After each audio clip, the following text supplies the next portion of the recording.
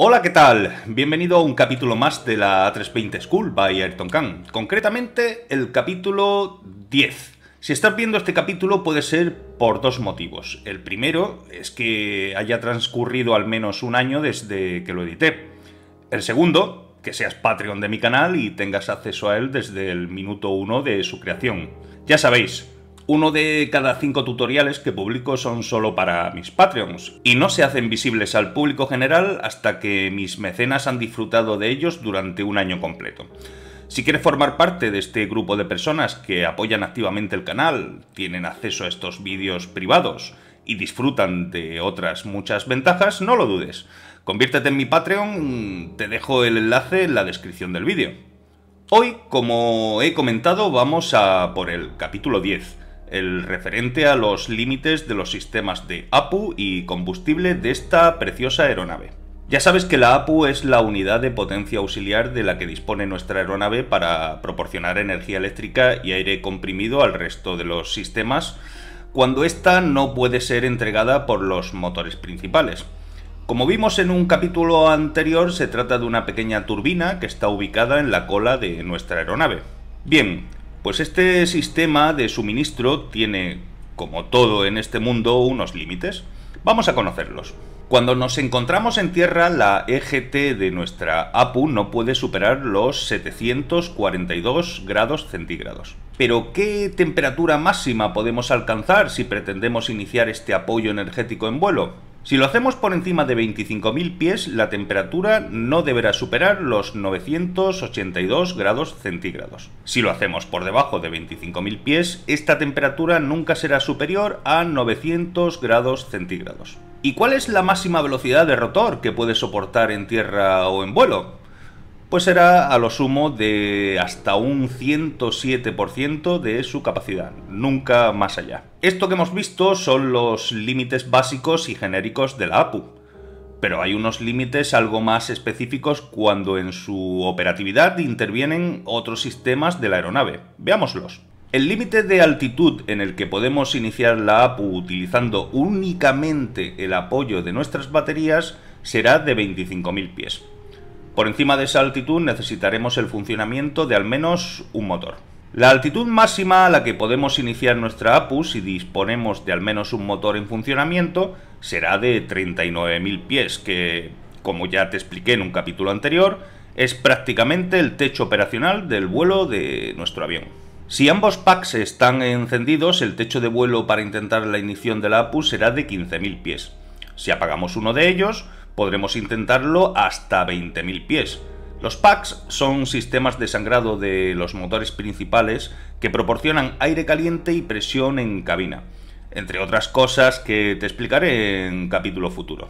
Podremos intentar el arranque de motores mediante el apoyo de la APU solo si nos encontramos por debajo de los 20.000 pies de altura. ¿Cómo sabemos si tenemos suficiente aceite en la APU para que ésta sea operativa?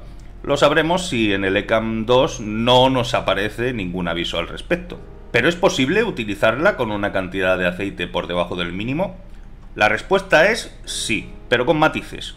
Si en el ECAM 2 nos aparece la expresión Low Oil Level, en español bajo nivel de aceite, podremos operar la APU en condiciones normales hasta un máximo de 10 horas. Para realizar varios intentos de arranque de la APU también tenemos unos límites. Podremos realizar tres intentos con un periodo de enfriamiento entre ellos de un minuto. Si llegamos al tercer intento y no lo hemos conseguido, deberemos esperar 60 minutos para realizar un nuevo ciclo. Y por último, con respecto a la APU, te recuerdo que está prohibido operar la misma mientras se reabastece de combustible la aeronave y tampoco cuando se ha procedido a un apagado automático de emergencia. Ahora vamos con el combustible. Esta aeronave dispone de 5 tanques de combustible. Uno ventral, ubicado bajo la cabina, dos interiores, ubicados en los lados internos de las alas, y dos exteriores ubicados en las puntas de las alas. Ambas alas pueden almacenar hasta 27.525 libras de combustible, o 12 toneladas con 485 kilogramos. El tanque central puede almacenar un máximo de 14.547 libras, o 6 toneladas con 598 kilogramos.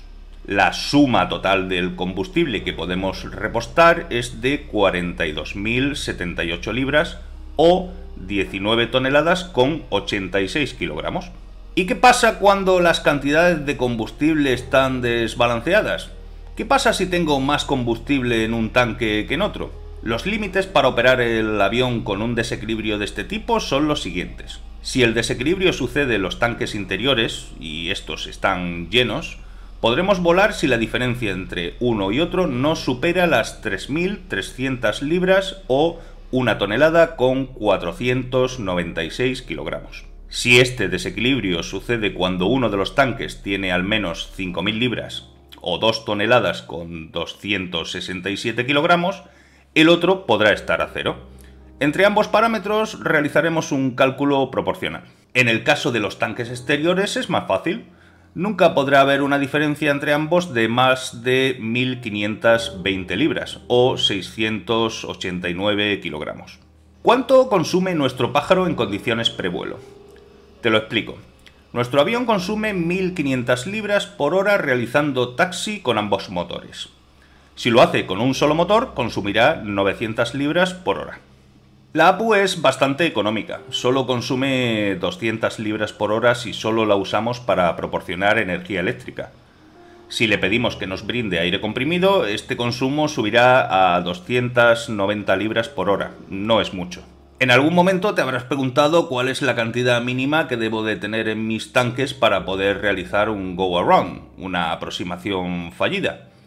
Pues este parámetro puede variar dependiendo de factores externos tales como la velocidad del viento, la temperatura, la altitud del campo en el que pretendemos aterrizar, etc.